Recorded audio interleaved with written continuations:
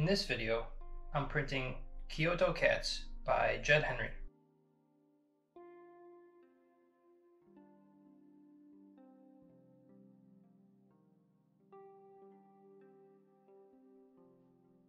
When starting a new batch of prints, I always refer to my old visual notes to get the colors and values of each individual block.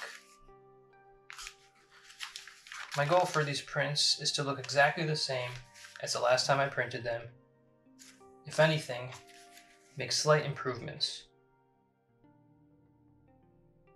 The first color block is a gray undertone.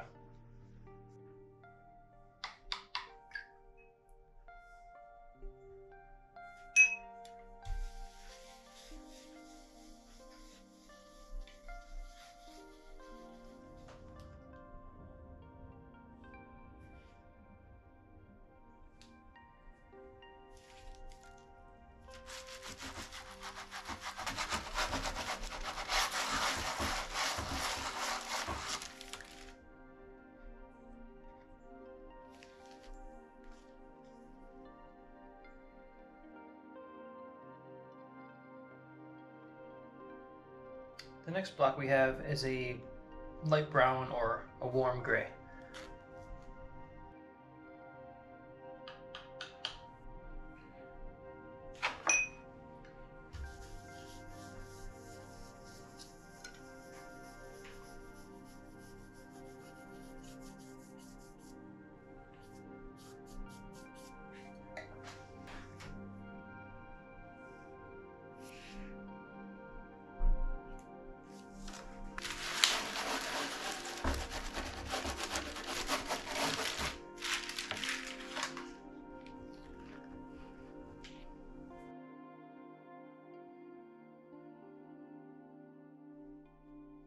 Onto the third block, which is another gray color.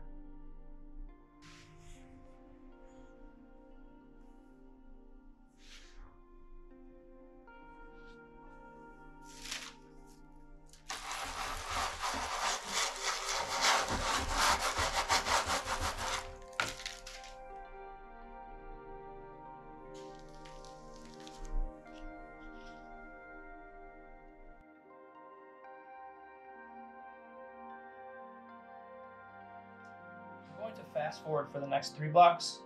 The next three colors will be yellow, red, and purple that make up the leaves and the color of the cat.